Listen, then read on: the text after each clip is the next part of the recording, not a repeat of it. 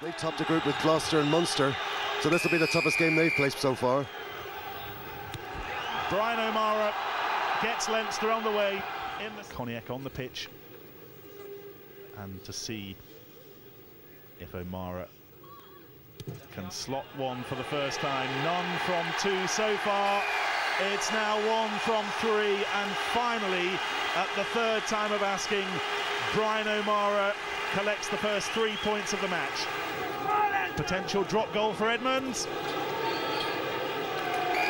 Oh.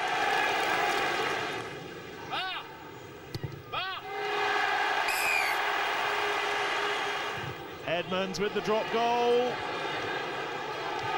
And he's done it. Warner, Quinlan, this is Hickie.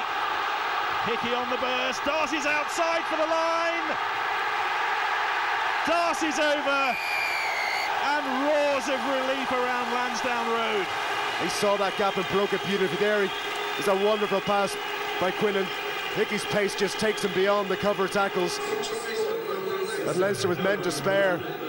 Gordon D'Arcy eventually getting the touchdown with Dempsey just on an inside. It was a great ball. Warner's pass really been taken on the burst. That was very well worth trying. Chip by Jordani and Bomati is there. Try for Pascal Bomati. Well, no, they've really fought back, come right back into this game. Looks like Leinster were really teeing things up to try and finish this job off, but no, Perpignan come back. Good continuity there. That was a wonderful little chip. It was picture perfect for, for Bomati. This is a dangerous Perpignan side, and Leinster really got, it's been put up to them now. They're in a very, very difficult position. They're not playing well, and the momentum now swung firmly back in Perpignan's favour.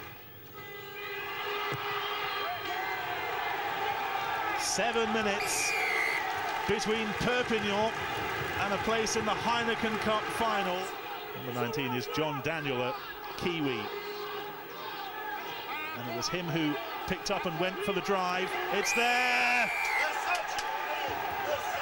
Leinster's dream is over.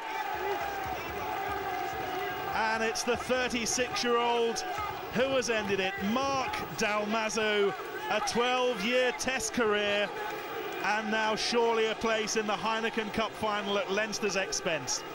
Uh, fully deserved by Perpignan. They, they really were patient there. You might have heard the referee Nigel Williams say there are four minutes of injury time.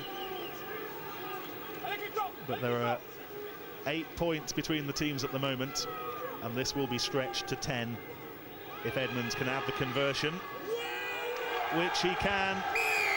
And it means that Leinster need a converted try and a penalty to try and take the match into extra time. But the sands of time are now surely draining away on their European adventure. O'Driscoll watches on, and with 40,000 others, watches and hopes. Knock on blue. The most unlikely of victors. No one gave them a prayer before the match. Everyone said it would be Leinster's party. It would be Leinster against Toulouse in the final, but it won't be. It will be an all-French final at Lansdowne Road on May the 24th. It's finished Leinster 14, Perpignan 21, and who would have thought it? Well, who would have thought it, but Leinster really didn't take the right mental attitude onto the pitch at all. Perpignan came prepared, they knew what they were doing. Sometimes it was illegal, but it was effective. They really shut Leinster down in the early part of the second half, and from there, all they needed to do was get Manny Edmonds in position. They got the try as well, fully deserved victory, but Leinster will be kicking themselves. Well, it really is cruel, isn't it? But for the second time in a month, the bubble of Irish rugby has been punctured.